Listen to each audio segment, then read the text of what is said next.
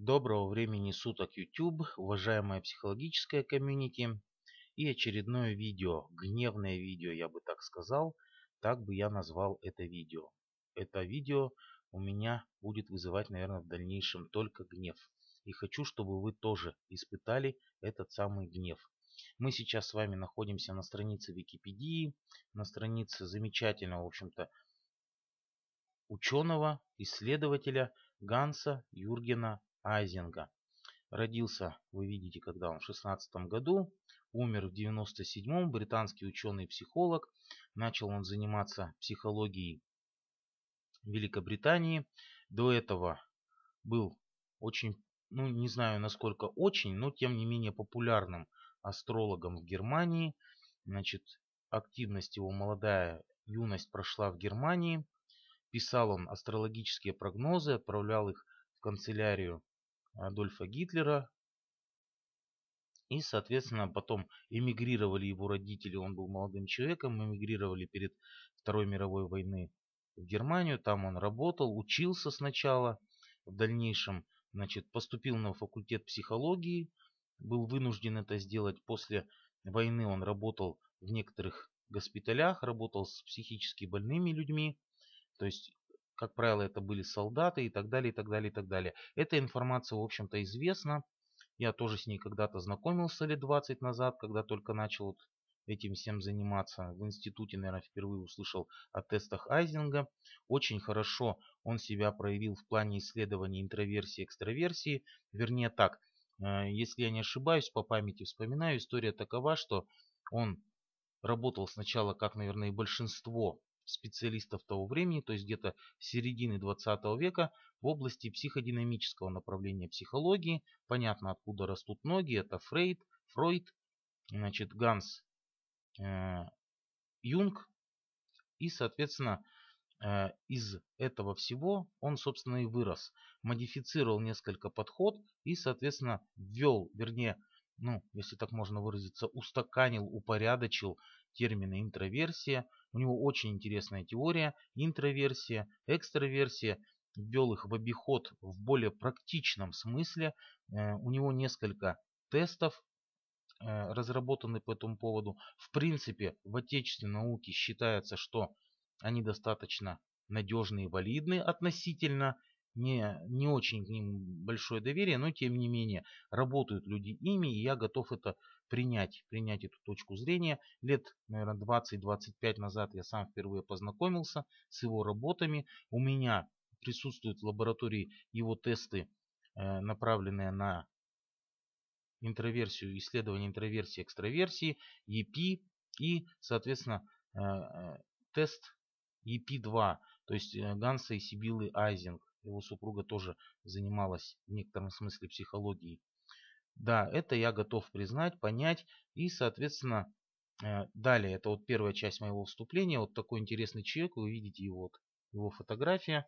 Действительно хороший ученый, занимался исследованиями неврозов, здоровых людей, сравнивал больных, здоровых людей после Второй мировой войны, британских солдат и так далее, и так далее, и так далее. Интересная теория. Но это видео не совсем о Гансе Юргене Айзинге. Это видео более практично. В каком смысле? Буквально на прошлой неделе, вот у нас сегодня, если я не ошибаюсь, вторник, соответственно, на прошлой неделе случилась такая интересная история.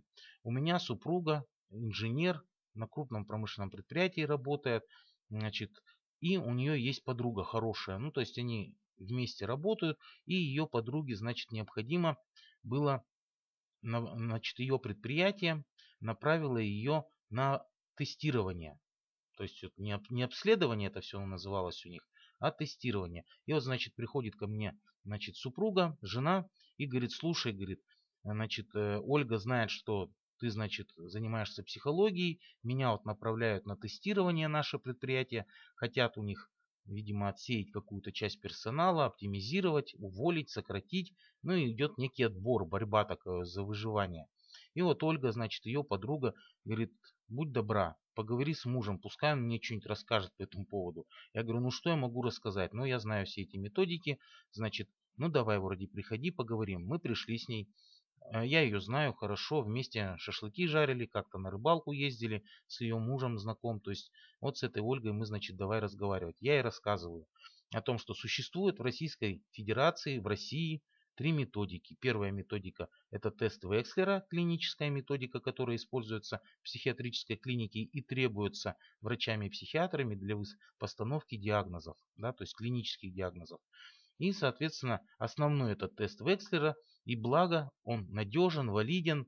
Очень долго его проводить, порядка час 10, час 20. Он невозможно его компьютеризировать и так далее и тому подобные вещи рассказывают и Ольге, и подруги супруги.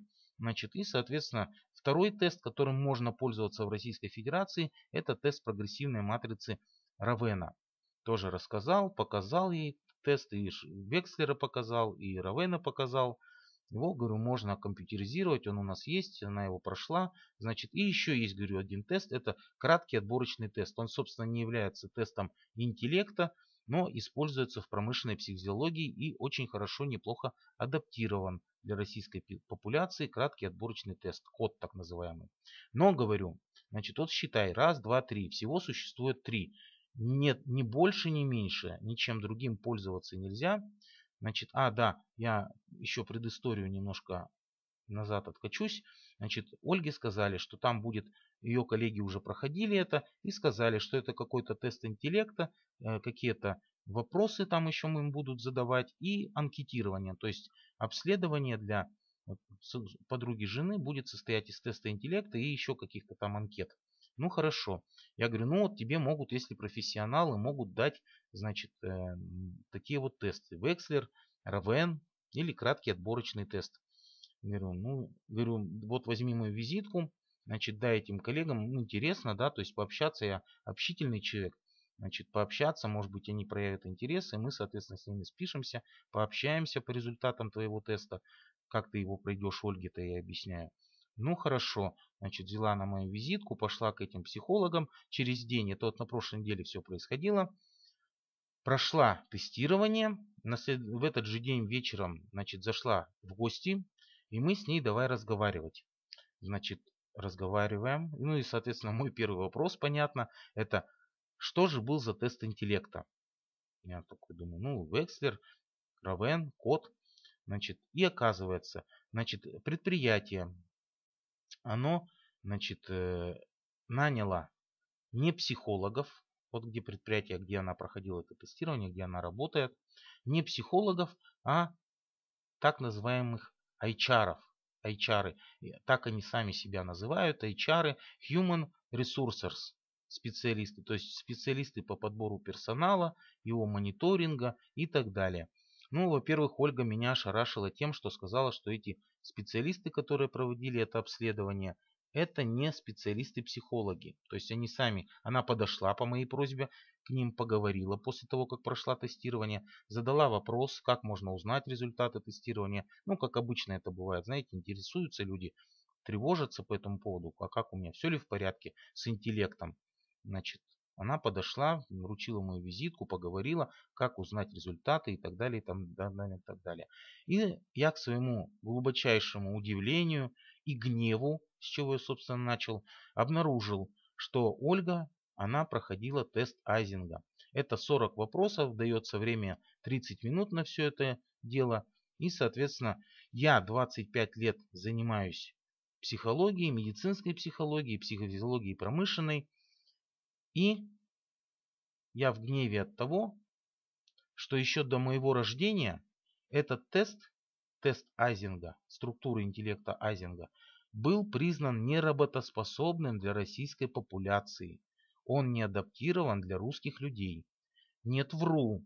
Он был признан еще в 50-е, 60-е годы, этот тест, тест интеллекта Айзинга, был признан невалидным, ненадежным для российской популяции, не адаптированным для нее.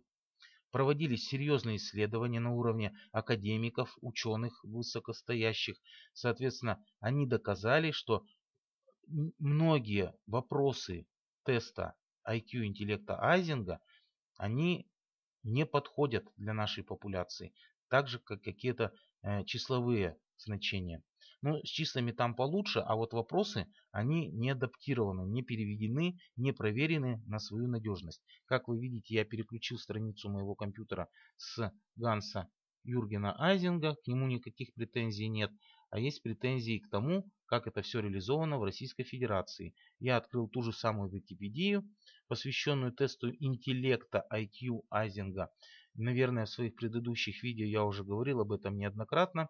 Смысл в том, что IQ является устаревшим термином, устаревшим понятием. Как ни странно, мое твердое убеждение, и не только мое, ряда моих коллег, IQ, подсчет, вы, расчет IQ э, является неправомочным, не, ненаучным методом. Что имеется в виду? Какой бы эффективный тест не был, будь то тест Векслера, будь то Равена, Айзинга и так далее, их результаты, которые мы получаем по, их, по результатам этих тестов, они очень спорные. Качественные методики, отечественные патопсихологические классификации, исключения предметов, э, простые аналогии, ассоциативные эксперименты и ряд других методик, порядка их 20 там, они дают более глубокую информацию о человеке, о его структуре, не интеллекта. Вообще интеллект как таковой в нормальных странах, у нормальных ученых, это вообще, как сейчас выражается молодежь, зашквар. Да, то есть интеллекта как такового не существует. Не существует. Существует качество мыслительной деятельности людей, которые диагностируются быстрее, лучше и с практически 99% надежностью такими методиками, как классификация, исключение предметов, и так далее. Ну, вы все знаете, наверное, кто следит за моим каналом, видели мои тест, мои обзоры, посвященным пробам и методикам патопсихологии э, Блюмы Вольфовны Зигарник, Сусанны Яковлевны Рубинштейн и так далее, и так далее, и так далее. Мало того, что пользоваться можно в российской популяции только тремя методиками, тестами интеллекта, которые хотя бы адаптированы и надежны, они действительно что-то выявляют и показывают в плане коэффициента интеллекта. Пользоваться тестом Айзинга, который не адаптирован, нельзя ни в коем случае. Это не работоспособный тест. Я могу признать какие-то моменты EP Айзинга, исследования его и работы, и тесты в плане значит, структуры личности человека, интроверсии, экстраверсии, нейротизма, психотизма.